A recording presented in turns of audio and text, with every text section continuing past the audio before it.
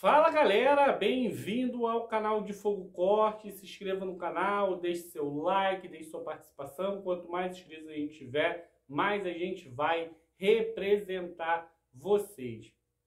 Vamos falar aí do Gerson, né, que sempre dá uma declaração provocativa ao Botafogo, um jogador que jogou no futebol francês, né, fez ali aquela rivalidade com o Lyon, não na época era do John Textor, né? um jogador que foi para o futebol europeu e não se deu muito bem, trabalhou com o Jorge Sampaoli lá no Olympique, e é um cara que sempre dá umas declarações bem fortes aí em relação ao Botafogo. Quero saber de vocês o que vocês gostam do Gerson, né? Acho que é um jogador que tem muito potencial, é um jogador que sabe fazer dupla função, é um jogador bem interessante e eu quero saber o que vocês acham desse jogador Gerson.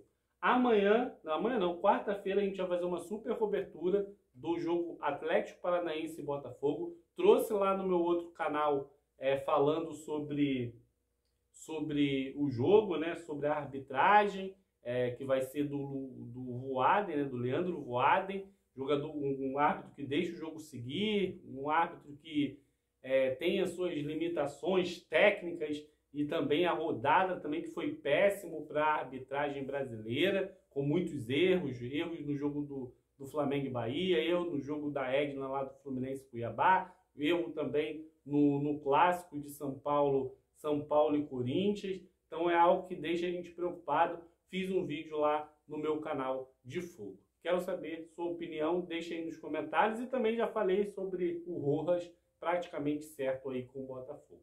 Abraço, Beijo grande, tamo junto e até o próximo vídeo.